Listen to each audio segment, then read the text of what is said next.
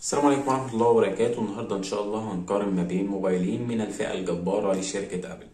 وفي الأول هنتكلم عن آيفون XS Max المقاوم للمياه والأتربة وزجاج أمامي وخلفي ومحمي بطبقة بطبقة حماية من نوع Gorilla Glass تصميم قديم لكنه مازال تصميم ممتاز جدا معالج أبل A12 ذو الأداء الممتاز كاميرا ممتازة من أفضل الكاميرات في السوق منذ تاريخ الإصدار.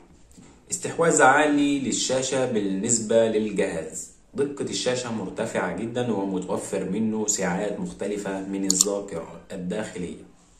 سماعات ستيريو ممتازة جدا.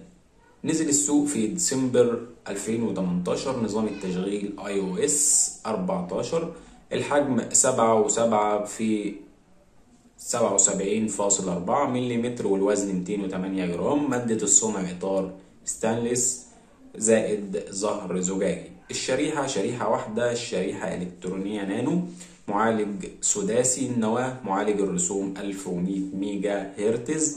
الهاتف متوفر منه نسخة ال 64 جيجا ونسخة ال 256 ونسخة ال 512 وطبعا كل ده مع رامات 4 جيجا.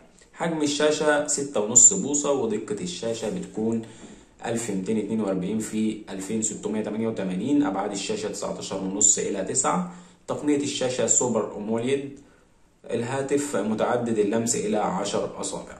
الكاميرا الرئيسية كاميرا مزدوجة 12 ميجا بكسل زائد 12 ميجا بكسل. وطبعا مش هنتكلم كتير عن كاميرا الآيفون. عن كاميرا الآيفون لأنها غنية عن التعريف. الكاميرا الأمامية 7 ميجا بكسل البطارية ليثيوم 3174 ملي أمبير يعني بمعنى 25 ساعة مكالمات متواصلة أو 65 ساعة موسيقى أو 15 ساعة فيديو. البطارية غير قابلة للإزالة والشبكات المتوفرة في الهاتف 2G و 3G و 4G متوفر منه اللون الذهبي والفضي والرصاصي.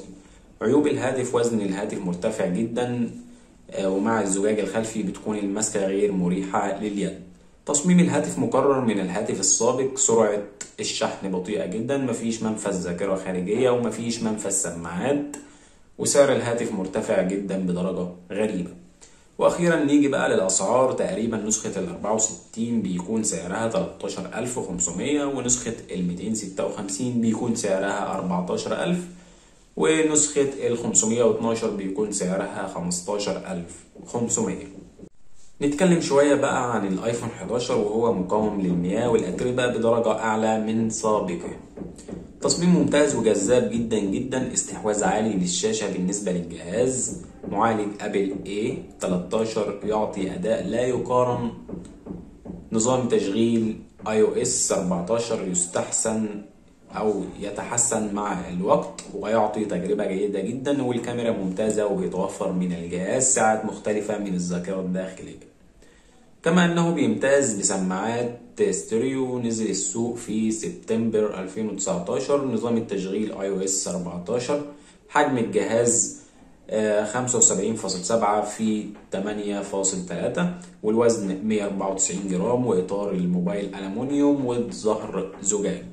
شريحة واحدة نانو والمعالج سداسي النواة الهاتف متوفر منه نسخة ال 64 جيجا ونسخة ال 128 ونسخة ال 256 وطبعا كل ده مع رامات 4 جيجا من نوع DDR 4 حجم الشاشة 6.1 بوصة دقة الشاشة 828 في 1792 ومتعدد اللمس إلى 10 أصابع.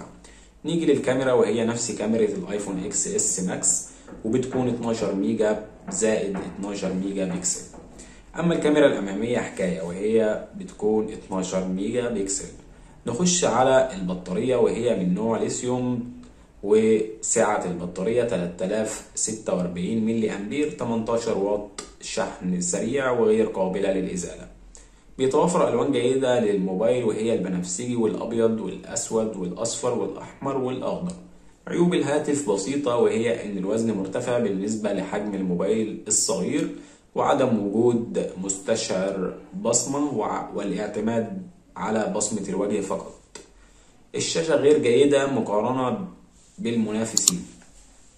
سعر الهاتف مرتفع للمواصفات ولا يوجد منفذ للسماعات. سعر الهاتف لنسخة ال 64 جيجا بيكون 11500 ولنسخة ال 128 بيكون السعر 12500 وبكده هنكون خلصنا مقارنة ما بين الاتنين دول ايفون سلام.